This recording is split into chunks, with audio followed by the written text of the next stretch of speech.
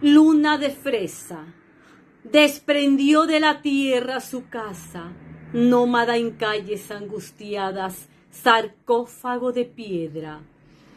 Respira en ella aire rancio de temores y polvo de restos no tan muertos. Pinte el hastío de ocre su memoria y de luciérnagas apagadas su vestido. Piruetas de una hoja con letras albinas. En la espesura de su morada rasga el sueño diurno sus versos y Alejandra Pizarnit los rehace con la espuma de sus manos.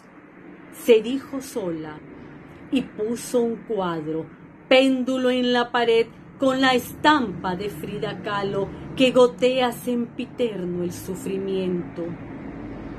Distorsión desmedida de las cosas, decretaron sus manías germinales, siempre a tiempo en horas tardías y a destiempo las voces cautivas.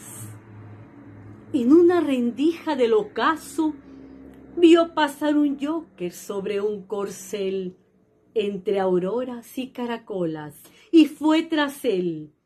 Dejó su inherente obsesión al resguardo de un abrigo que nunca usó. Abrió la puerta de mil aldabas, estrujó al viento que antes la sofocaba. Una lechuza negra y un cuervo blanco disipan los fantasmas.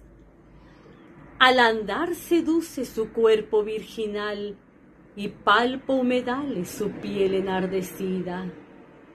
Atrás, las huellas de sus pies descalzos, señal de migas para nadie ausencia de paz, sentencia de bata blanca, murmura frenética la calma.